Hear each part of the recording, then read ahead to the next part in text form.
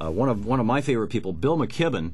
And Bill is going to be uh, is going to be introduced by another friend of ours, Bill Bradbury, our, our uh, Secretary of State here in, in Oregon, and uh, seven o'clock tonight at the Muddy Boot Organic Festival uh, here in Portland. He's also the author of Deep Economy: The Wealth of Communities and the Durable Future, and runs a website.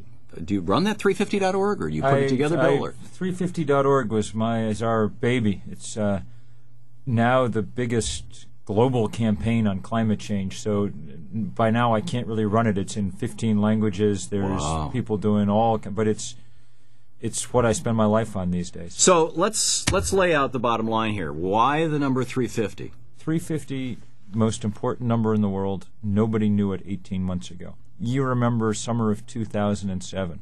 Arctic ice started to melt way ahead of schedule, way ahead of when the, you know, computer models said that global warming should really take it out.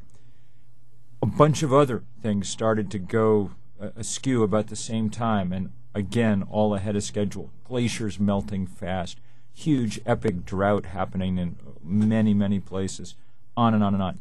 The scientists understood all of a sudden that we'd underestimated how fast climate change was going to happen. They went back to work. Jim Hansen, who you know, the mm-hmm. NASA scientist who's really our greatest climatologist, he and his team put out a paper in January of 08 saying, here's the bottom line. We finally understand the climate system well enough to say that any amount of carbon dioxide in the atmosphere in excess of 350 parts per million is not compatible with the planet on which civilization developed or to which life on Earth is adapted. A fairly strong bottom line. Especially strong because, Thom, we're already past it. We're at 390 parts per million now and rising. So the point is, the point is no longer think about climate change as something that's going to happen someday. Think about it as a very present emergency that requires much tougher political action and commitment than we've made so far, and that's what we're trying to build at 350.org in every country of the world except maybe North Korea. Well, and in fact, the, here this this story from uh, Live Science just just uh, Louise just handed me this. The dramatic changes sweeping the Arctic as a result of global warming aren't just confined to melting sea ice and polar bears. A new study finds that the forces of climate change, which I I refer to as atmospheric deterioration, I think we need to That's adopt language that is actually negative in its implications. Atmospheric deterioration are propagating throughout the frigid north, producing different effects in each ecosystem, with the upshot that the face of the Arctic may be forever altered. And then they say, well, the Earth on average has warmed by about seven tenths of a degree Fahrenheit over the past 150 years. The Arctic has warmed by two to three times that amount. It is uh, the, the, the, the headline here in Environmental News Network, ENN.com. Arctic ecosystems changing may be irreversible. And this is all about getting us back down to 350, 350 parts per million.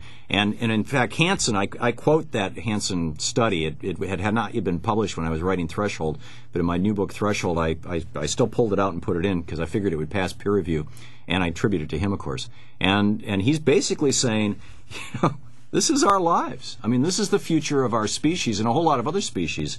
And and Bill McKibben, I know the the uh, 350.org, the website. I know the, the the newly elected prime minister of Japan has broken with the old what what in Japan they call the Liberal Party, what here we would call the Conservative Party, uh, which had had controlled Japan for the last 50 years. Who only wanted an 8% reduction in Japan's CO2 output. And he said, no, we're going to shoot for a 20% reduction. Um, this is pretty dramatic stuff. In Copenhagen, there's going to be this big meeting in December, uh, people from all around the world, the big climate change conference. Uh, what are your thoughts about what's going to happen, and what can we do to push the United States, and particularly this administration, in the direction of doing the right thing? Those are just the right questions, Thom. Uh, Copenhagen's going to be the big enchilada, the real point where we either fish or cut bait as regards climate. And around the world, governments are beginning to sort of stake out their positions. We need far more from everybody, and we're beginning to get it. And the reason that we're going to begin to get it and that we're going to get more progress in the next couple of months is because we finally built a movement. On October 24th, here's how people can really take part. On October 24th, we're going to be having thousands and thousands and thousands of demonstrations and rallies and events all over the world, in almost every country on earth, on that day, all designed to take those three digits, 350, and drive them into the public imagination to take this data point and make it clear that this represents survival for the planet. And if we do that, if we build that movement, you know, we're not going to beat ExxonMobil by spending more money. I mean, you know, they have more money than have we're ever going to have. A, a- a virtually infinite supply. They made more money last year than any company in the history of money. Okay, yeah. so All that's back to the not our Empire. that's not how we're going to beat them. If we're going to beat them, it's going to be if we manage to build a movement. And finally, we are. I, the last week, I have been spewing carbon behind me. In the last eight days, I've been in Norway, South Africa, Israel, Palestine, and Mexico. I got to Portland late last night.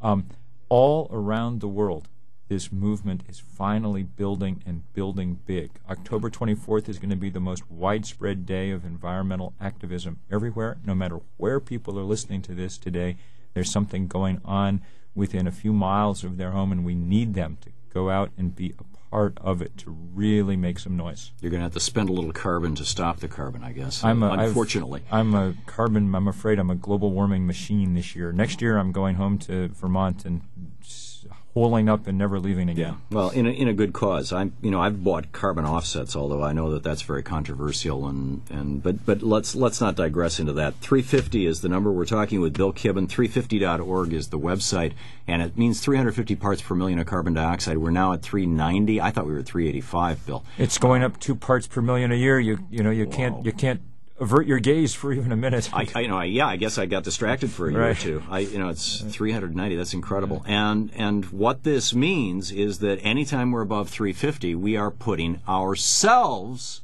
if you want to put the most selfish spin on it possible and every other you know at least highly developed form of life and well not even that, I mean you know corals are bleaching out. Oh, look, that we've changed. We've in the last 15, 20 years, the ocean has grown 30% more acid. The smallest marine organisms at the bottom of the food chain are now having trouble forming their shells. Right. So there's the krill, Uh, the stuff that whales live on. exactly. and the stuff that little tiny fish live on. coral, all those things are affected.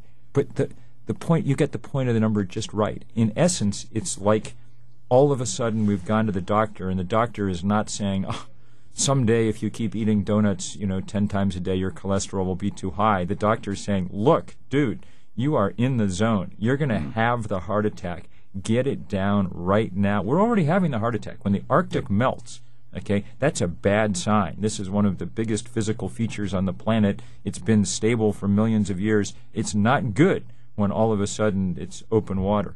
We've got to take action now and fast and hard.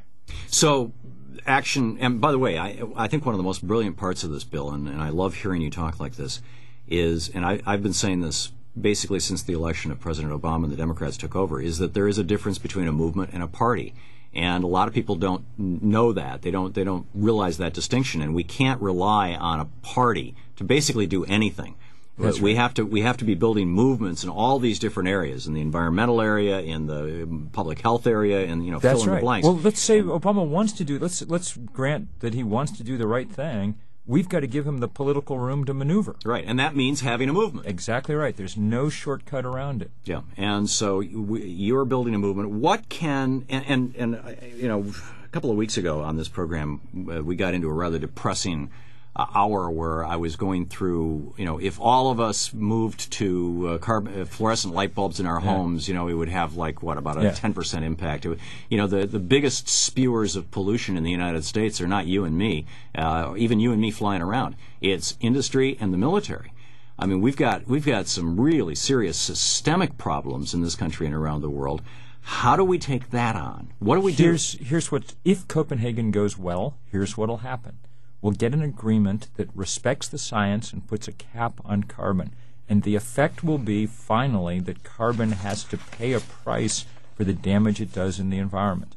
The minute that that happens, the minute that it's no longer just free to spew the most dangerous gas in the world out into the atmosphere, that's the moment when everything starts to change. That's the moment when industrial agriculture on the scale we do it no longer makes sense.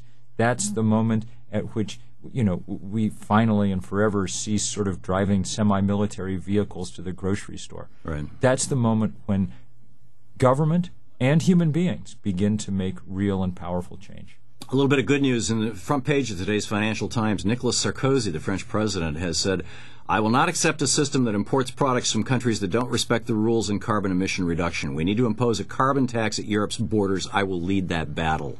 He's, he's you know, because right now, uh, much of our carbon production in the United States has actually been offshore to China. Yep. He's saying we're gonna we're gonna charge for that carbon. If you want to make something in a country where they're running coal-fired power plants like China, we will charge for that. It's tariffs. It's really hard, of course, because most of the global warming that's going on now in the planet is caused by uh, coal that, and oil that we burned in the West over the last hundred years. Yeah. It's not yet China causing most of the problem, and they're still poor, and we're going to need to make a deal that looks something like the Marshall Plan at the end of the Second World War, but in carbon terms, where we provide some aid and assistance to allow them to develop without that coal. It's practical, it's idealistic, but most of all, it's scientifically required.